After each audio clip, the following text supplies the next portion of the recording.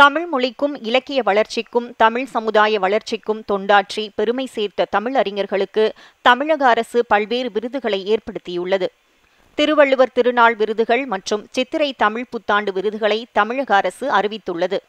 திருவள்ளுவர் திருநாள் விருதுகளில் நடப்பாண்டிற்கு நா. நித்யானந்த பாரதிக்கு திருவள்ளுவர் விருதும் கடந்த ஆண்டிற்கான தந்தை பெரியார் விருது செஞ்சி நா. ராமச்சந்திரனுக்கும் அண்ணல் அம்பேத்கர் விருது முனைவர் கா. அர்ஜுனனுக்கும் பேரறிஞர் அண்ணா விருது முனைவர் கோ. சமரசத்திற்கும் பெருந்தலைவர் காமராஜர் விருது கவாலியர் முனைவர் மாசு மதிவாணனுக்கும் அறிவிக்கப்பட்டுள்ளது. இதேபோல் மகாகவி பாரதியார் விருது பேராசிரியர் முனைவர் பா. சிவராஜுவுக்கும் பாரதிதாசன் விருது தா. தேனிசை செல்லப்பாவுக்கும் தமிழ்தென்றல் திருவிகா விருது முனைவர் சே. சுந்தரராஜனுக்கும் முத்தமிழ் காவலர் கி. ஆபே விஸ்வநாதன் விருது முனைவர் மணிமேகலை கண்ணனுக்கும் வழங்கப்பட உள்ளது.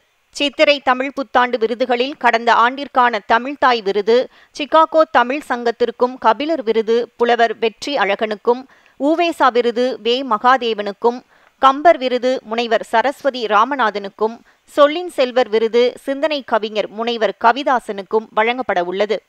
இதேபோல் உமறு புலவர் விருது லியாக்கத் அலிகானுக்கும் ஜியு போப் விருது மரிய ஜோசப் சேவியருக்கும் இளங்கோவடிகள் விருது கவிகோ ஞானசெல்வம் என்ற கோ திருஞான சம்பத்திற்கும் அம்மா இலக்கிய விருது உமையாள் முத்துவுக்கும் வழங்கப்படுகிறது.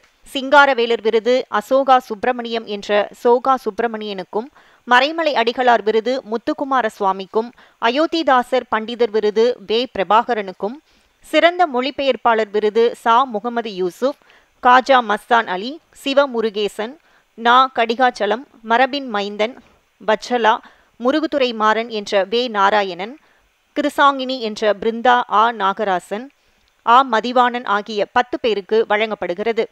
கடந்த ஆண்டிற்கான முதலமைச்சர் கணினி தமிழ் விருது நாகராசனுக்கும் மதுரை உலக தமிழ்ச்சங்க விருதுகளாக கடந்த ஆண்டிற்கான இலக்கிய விருது மலேசியாவைச் சேர்ந்த கே. ராஜேந்திரனுக்கும் இலக்கண விருது பிரான்ஸைச் சேர்ந்த முத்து கஸ்தூரிபாய்க்கும் மொழியியல் இலங்கையைச் சேர்ந்த சுவதினி ரமேஷிற்கும் அறிவிக்கப்பட்டுள்ளது.